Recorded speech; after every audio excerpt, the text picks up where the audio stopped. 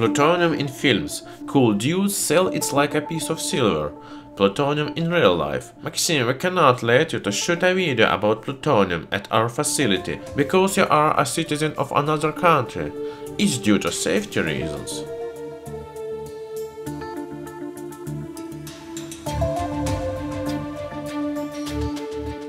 Hello everyone! As you must have understood, this video is going to be about such as a radioactive metal as plutonium. It has been shrouded in secrecy since the day it was discovered and right until our days. The history of the discovery of the element with atomic number 94 began in 1914 when Glenn Seaborg and his team of scientists bombarded an atom of uranium-238 with deuterons in a cyclotron, one of the first particle accelerators. As a result of this reaction, they got neptunium, which turned into plutonium-238. However, this isotope wasn't susceptible to spontaneous fission and wasn't suitable for making nuclear weapons, which the government of the United States was in dire need of back then. Half a year later, the Americans managed to create isotope 239, of the new element by bombardment with neutrons of uranium salt, which, as later tests confirmed, was more suitable for nuclear weapons than uranium-235. The new element with the atomic number 94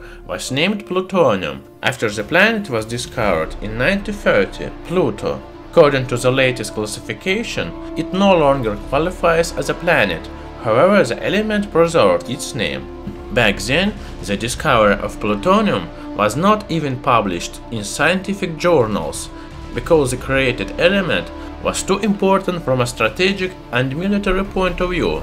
That is why the research of this element was shrouded in secrecy both in United States and USSR. Just a year later after the discovery of plutonium, there was launched the famous Manhattan Project in the United States. The aim of this project was to acquire a large quantity of plutonium and uranium and also to create the first atomic bomb. As a result of this project, Americans managed to produce 6.2 kilograms of pure plutonium. In 1945, the first atomic bomb ever, Trinity, was tested in the New Mexico state.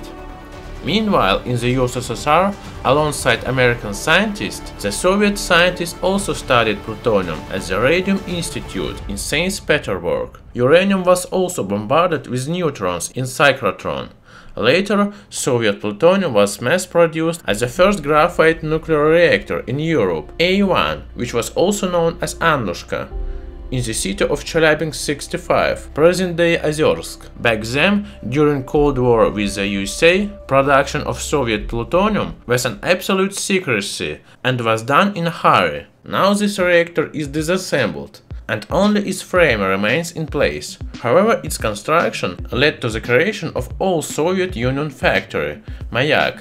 Scientists are working with radioactive chemicals at this factory up to this day. In the past, the first Soviet plutonium was produced at the A1 channel tube reactor, and later on, this type of reactor found a peaceful application and led to the creation of famous reactor of a similar type, RBMK 1000 which also produces a small amount of plutonium.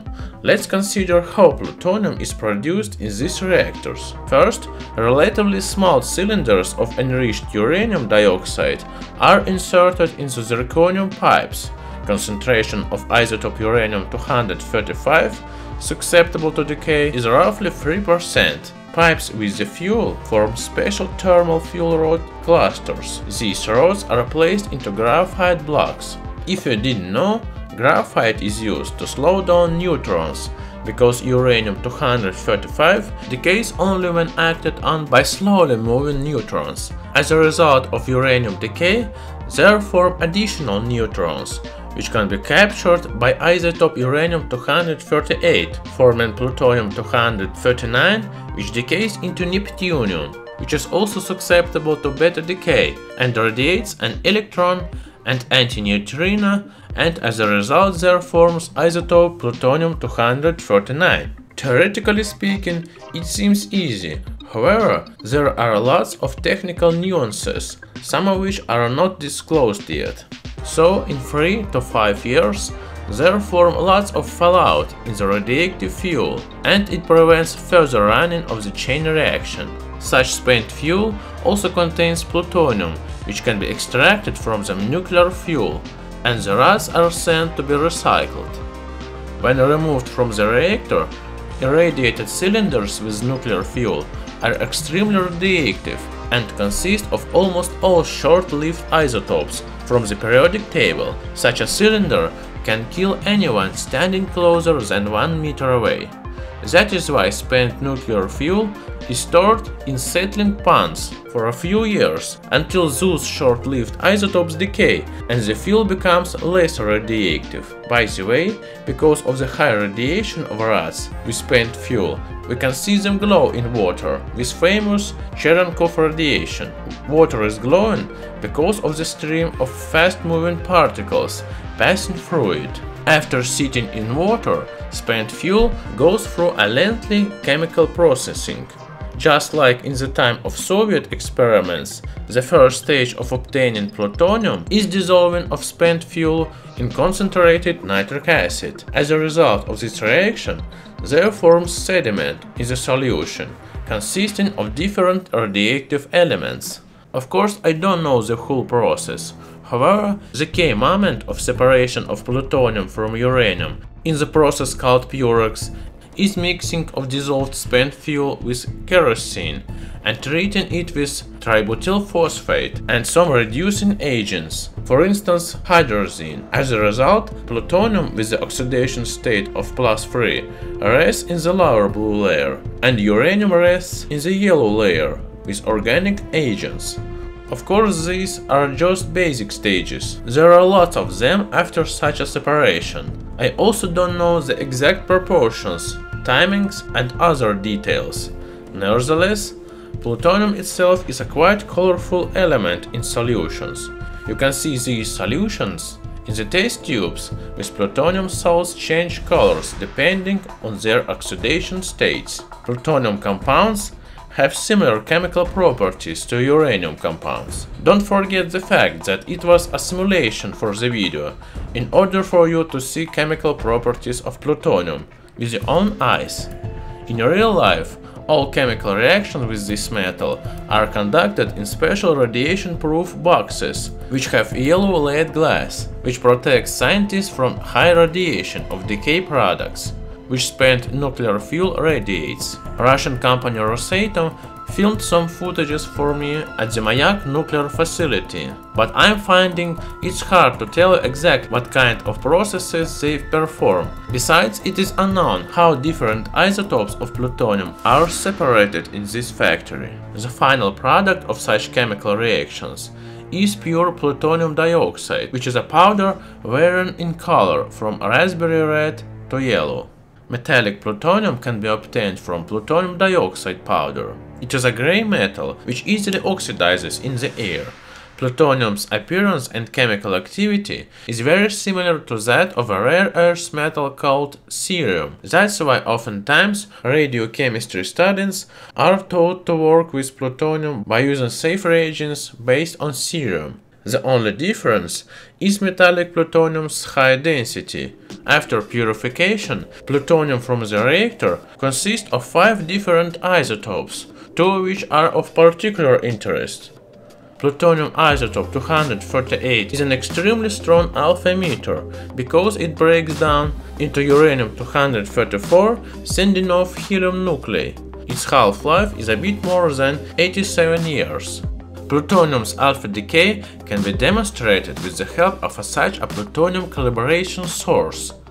If we insert this plate with a small amount of plutonium-238 into special dosimeter sensitive to alpha radiation, you can see how quickly the number of impulses of this isotope's alpha decay is growing. However, if we place a sheet of paper between the dosimeter and the source of alpha radiation, it will completely block the alpha radiation. This experiment proves that alpha rays have a weak penetration power and are completely blocked by a thin sheet of paper. By the way, my portable Radiacode dosimeter shows the same. Here an open dosimeter detects enormous alpha radiation and here the sheet of paper completely blocks all alpha particles. Pieces of plutonium-238 can significantly heat up in a confined space because of the active decay. Sometimes they can become red hot and the metal can even burn. Another reason why that happens is because plutonium is the worst heat conductor among all metals. Produced plutonium dioxide will also be heating up. This property of plutonium has been used in thermoelectric generators for about 70 years. Self-heating of plutonium-238 generates more than 500 watt per kilogram of energy, and all of this heat can be converted into electricity. Such generators are installed in some spacecrafts, for instance in such a Voyager and Mars Science Laboratory Curiosity. Plutonium isotope 239 doesn't heat up as much, but it is fitting for making nuclear weapons from it. The only problem is that metallic plutonium is quite fragile, which is why it is alloyed with gallium. After that, it's much easier to treat and transport it. As you understand, now, like 70 years ago, plutonium is mainly used for manufacturing atomic bombs. Here is a design of a new warhead B-88. In the center is a case with a mixture of deuterium and tritium. It is covered in a layer of plutonium, which then coated in beryllium for creating a powerful stream of neutrons. Then, two lenses, made of explosive material, are attached to the case. Underneath there is a secondary charge from a layer of different uranium isotopes, which is connected to the primary charge with styrofoam, which creates plasma when there is an explosion. As a result, after coating the case with a reflective layer, which directs gamma rays from the primary charge to the secondary charge, we have a powerful weapon. Hopefully it is never used. So, I hope that video was interesting for you.